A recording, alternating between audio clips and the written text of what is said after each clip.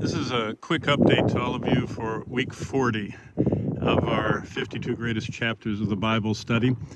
You can see the Acropolis, that uh, kind of large mountain uh, that you see in the background. That's the Acropolis or the Acrocorinthus of the city of Corinth.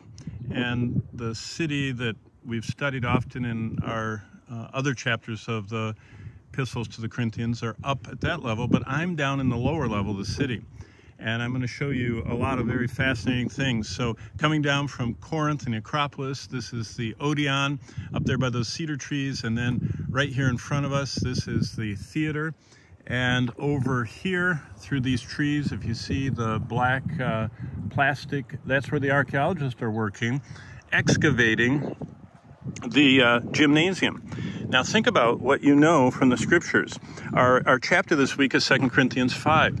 And 2 Corinthians 5 has two very, very huge messages. Verse 10 says, For we must all appear before the judgment seat of Christ. And I've done that lesson for you up there at the Bema seat, and you've seen that. The other part of the chapter is verse 21, which is perhaps the single greatest verse in the whole Bible.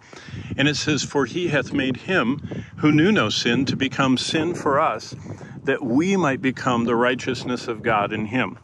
So here, we're walking. I mean, this is the Roman road. You can see it stretching there in front of me all the way up to Upper Corinth and uh, the meat market and, and the leather shops and everything else it's it's highly unlikely that Paul didn't walk on it. In other words, it's it's almost for certain he would have walked on this very road. So, in our study this week, you're looking at the road where Paul walked. But not just that. Here's one of the saints, right here, uh, and you can see E R A S T U S, Erastus.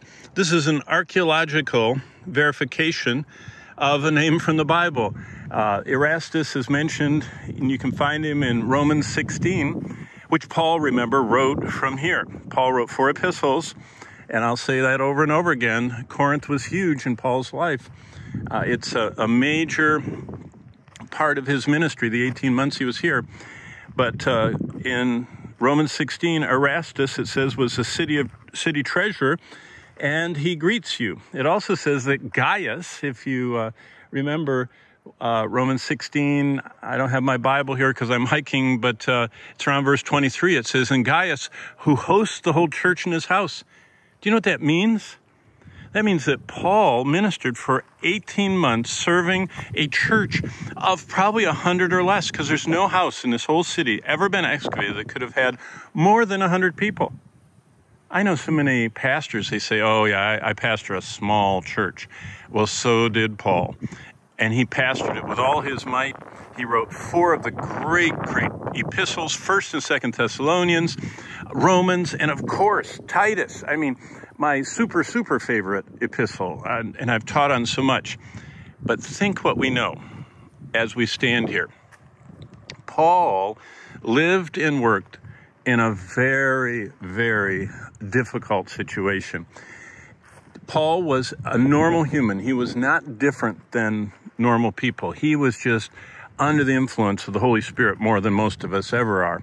But Paul lived and worked in the presence of huge, strong temptation. Temptation number one, the temple of Aphrodite up there on the top of that Acropolis.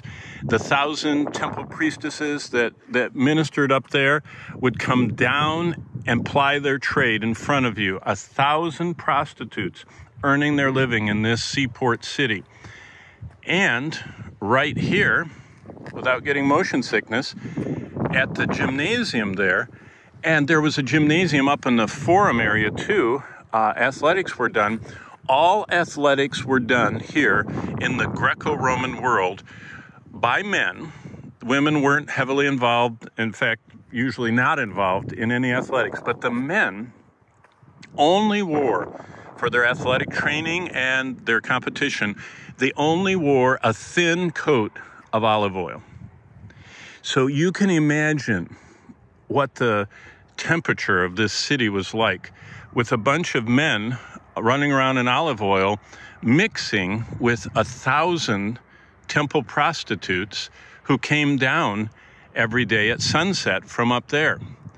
But what about all day long? Well, we know from history that if you brought an offering to Aphrodite, if you walked, it was 2,000 steps up the mountain, 2,000 feet of stairs up there. And if you would go up there with any offering, you were given time with one of those temple prostitutes. So, what, what does that mean? That means this was a very immoral place, a very, a very struggling town. So, what did Paul write to them? Well, number one, he said, We're all going to stand before the judgment seat of Christ.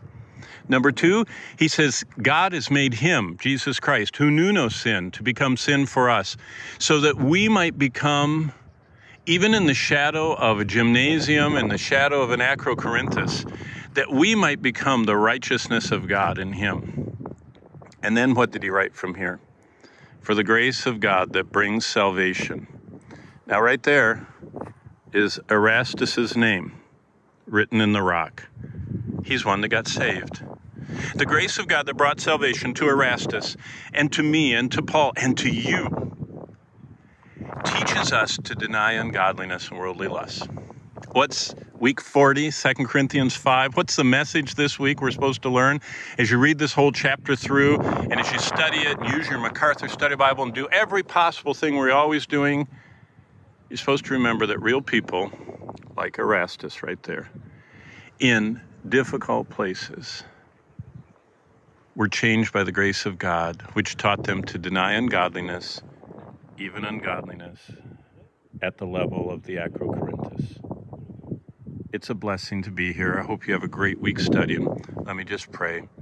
Lord, my application prayer is that your grace that saved me will help me this week and today to deny ungodliness. And I pray that all my friends that are doing this study this week will also say no to sin, like Paul did, like Christ's death on the cross enables all of us to do for Jesus' sake.